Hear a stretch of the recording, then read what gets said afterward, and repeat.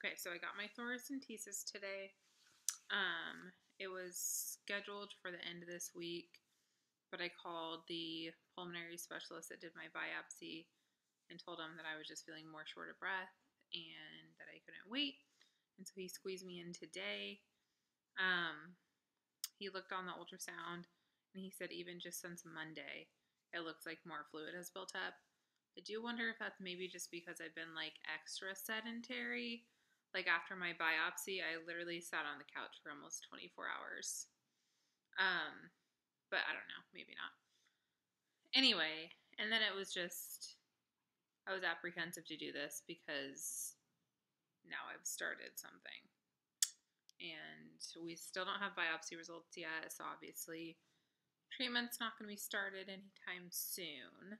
So, yeah, the actual procedure um, he took off a liter and a half, and it was just a really weird feeling. Like he numbed the area and then just put a needle in my back and drained it.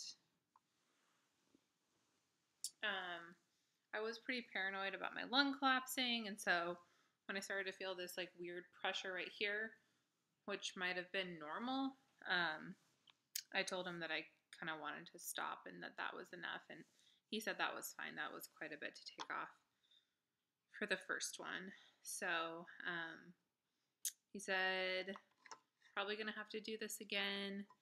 And then there was a possibility of maybe putting a catheter in, and then I would be draining it at home um, until the primary problem gets solved, which is the tumors. Um, so yeah, I feel a little bit better. I mean, I could like hear the fluid in my throat before, and I don't, I don't feel that.